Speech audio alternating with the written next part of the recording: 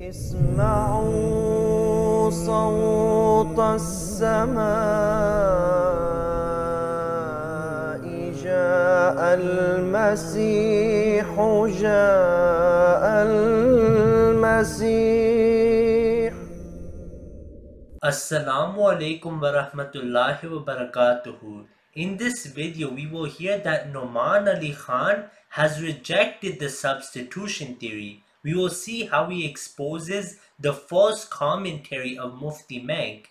Mufti Menk sadly believes in the substitution theory, which is not present in the Quran nor the Ahadith. Hazrat Mirza Ghulam Ahmad salam has completely exposed this false belief in chapter 4 of Khutbah Ilhamiyah. Let us now hear the view of Mufti Menk, which contradicts the Quran, the Ahadith, and the wisdom of Allah, and then see how Numan Ali Khan completely refutes him. You will see the amount of discrepancies that are in the story of how Jesus was crucified because it was not Jesus who was crucified. There was a face of Judas that was made to now look like Jesus. And this is why they crucified a man believing that he was the one, but because he was a traitor, he was punished by the Almighty. And this is why they crucified a man believing that he was the one, but because he was a traitor, he was punished by the Almighty. Yeah, true or false? Because even the theory that somebody was put in his place is not from Islam. Because even the theory that somebody was put in his place is not from Islam. Because even the theory that somebody was put in his place is not from Islam. And that theory could also be argued, well, if that's the case, then it's as if Allah is allowing one person to be punished in place of another. Because even the theory that somebody was put in his place is not from Islam. We will now hear some words from Hazrat Mirza Tahir Ahmed, may Allah have mercy on him, on the falsehood of this theory. Yad rakhna,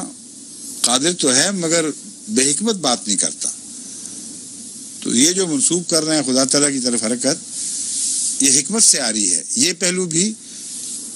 جماعت کے حق میں ایک بڑی بھاری دلیل ہے کہ خالی عزیزن یا قدیرن نہیں فرمایا بلکہ حکیمن فرما دیا ہے۔ اور جو یہ منسوب کرتے ہیں کہانی حضرت مسیح کی طرف اور واقعہ سلیب کی طرف، وہ کلیتاً حکمت سے خالی ہے۔ ان کا سیناریو جس کو انگریزی میں کہتے ہیں، تناظر۔ وہ یہ ہے کہ اللہ تعالیٰ نے حضرت مسیح کو سلیب پر چڑھنے ہی سے بچا لیا۔ اب چڑھنے سے بچا لیا، کس طرح بچایا؟ وہ کہتے ہیں، ایک یہودی کو مسیح کی شکل دی گئی ناول باللہ من ظالم اور ایسا مکمل مسیح بنا دیا گیا اس کا، اس کو آپ بھی نہیں پتا تھا کہ میں مسیح نہیں ہوں۔ اور شکل بھی اور روح بھی اس کی بالکل مسیحی ہو گئی۔ چنانچہ فرشتے اترے، انہوں نے آسمان پہ چھت کھودی مغورچہ بنایا ایک یعنی ایک کھلا سوراخ کیا۔ اس کو مولوی مغورچہ کہتے ہیں۔ تو مغورچہ بنایا، اس میں سے نیچے اتارا اس جھوٹے مسیح کو ناؤز بل ڈالے اس کو اتارا، اصلی مسیح کو اٹھایا۔ اور اوپر چڑھے، ان کو ذرا ایک منٹ ہے نا ہم چھت بند کر لیں۔ پھر انہوں نے اس کی مرمت کی مکمل۔ یہاں تک کہ کسی کو کوئی شبہ نہیں پڑا رہا کہ یہاں سوراخ ہوا کرتا تھا۔ مکمل اسی طرح چھت پھر مسیح کو لیا اوپر اڑ گئے کہاں جا کے چھوڑا؟ چوتھے آسمان پہ۔ اللہ کے بچانے کی ترکیب یہ حکمت جو ہے، یہ مولوی کو تو زیب دیتی ہے، خدا کو تو بالکل زیب نہیں دیتی۔ اس لیے یہ حکمت سے آ رہی ہے، ایک ساری اسکیم ہی حکمت سے آ رہی ہے۔ حد سے زیادہ جاہلانہ اسکیم بنتی ہے، اگر اس کو ظاہری طور پر مانا جائے۔ ایک تو نبی کو اتنا ذلیل کر دینا کہ اس کی شکل کا ایک بدبخت کافر بنا دینا اور اس کے ماں کو ذلیل کر دینا، اس کے ماننے والوں کو ذلیل کر دینا کہ اس کافر کی لاش سے لپٹ لپٹ کے روئیں اور اس کو بوسے دیں اور اس کو احترام سے اٹھا کر لے کے جائیں۔ یہ مذاق یہود سے کر رہا تھا، اللہ تعالیٰ یہ اپنے پیاروں سے مذاق کر رہا تھا۔ اتنا جاہلانہ تصور ہے کہ تصور کو جوتیاں مارنے کو دل چاہتا ہے۔ ایسا ذلیل تصور۔ بڑے مزے سے کہتے ہیں نوز باللہ قرآن کریم نے یہ فرمایا ہے۔ تو پھر آگے کیا ہوا؟ کون جیتا؟ یہود جیتے کہ اللہ جیتا؟ اس ترکیب کے بعد یہود کو کیا دکھائی دیا؟ یہود کو یہ دکھائی دیا کہ ایک ایسا شخص ہے جس سے سلیب پر چڑھایا جا رہا ہے، بین ہی مسیح ہے۔ اور انکار بھی نہیں کر رہا۔ چڑھنے سے پہلے یہ نہیں کہتا کہ لانت ڈالو، مسیح وغیرہ۔ پہ میں کہاں سے مسیح ہو گیا؟ میں تو تمہارا ہی ایک بھائی بند ہوں۔ مجھے چھوڑو۔ بالکل نہیں، بڑی ضرورت سے جاتا ہے۔ انبیاء کی عظمت کے ساتھ سلیب پر چڑھ جاتا ہے۔ اور یہ مذاق کس سے ہوا؟ غلط کون ثابت ہوا؟ یہودی کے اللہ۔ کیونکہ جس بائبل کی آیت کی طرف حوالے سے گفتگو ہو رہی ہے۔ اس میں یہ تھا کہ اگر کوئی شخص نبوت کا دعوے دار ہو اور سلیب پر لٹکا ہوا مر جائے تو سمجھنا کہ وہ جھوٹا ہے۔ تو یہودیوں نے کیا دیکھا؟ ان کی کہانی کے مطابق یہودیوں نے دیکھا کہ ایک شخص جو دعوے دار تھا، وہ آخر وقت تک اپنے دعوے پر قائم رہا اور سلیب پر لٹکا اور سلیب پر اس نے جان دے دی۔ تو وہ یہودیوں کی نسل جس نے یہ دیکھا، ان پر اللہ کی کیا حجت ہوئی؟ وہ جب مر جائیں گے اور قیامت کے دن پیش ہوں گے، تو اللہ سے کیا ان کا، ان کی گفت و شنید ہوگی؟ اللہ ان کو کہا جاؤ جہنم میں، تو نے میرے مسیح کا انکار کر دیا تھا۔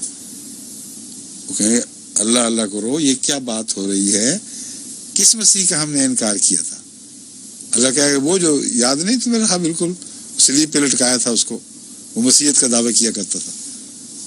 کہ وہ تو بائبل یہ کہتی تھی کہ سلیب پر لٹکا ہوا جو شخص مر جائے، وہ جھوٹا ہوتا ہے۔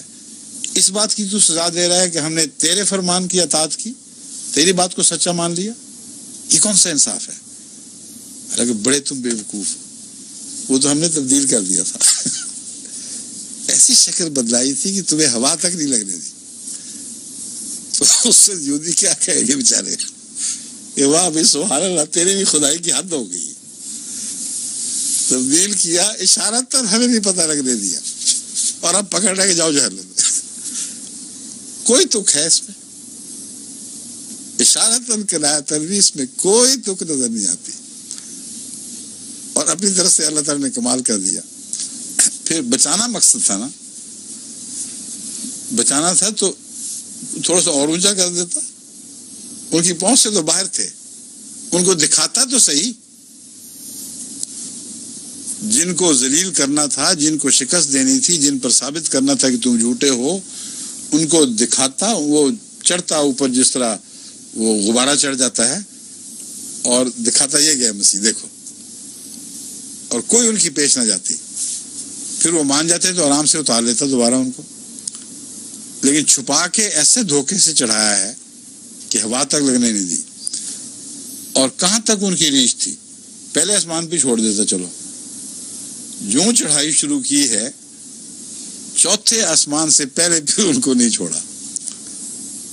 اور وہاں چھوڑ کے ابینڈن کر کے چلے گئے، نہ مردوں میں، نہ زندوں میں۔ بےچارے دو ہزار سال ہو گئے ہیں سالیٹری ملی ہوئی ان کو۔ مولویوں کو دس سال قید تنہائی مل جائے تو چیخیں نکل جائیں ان کی۔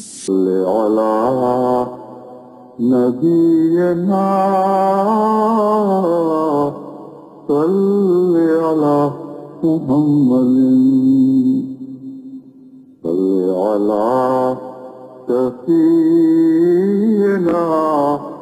صل على محمد غير العزيز فما عليه كشف الدجى في جماله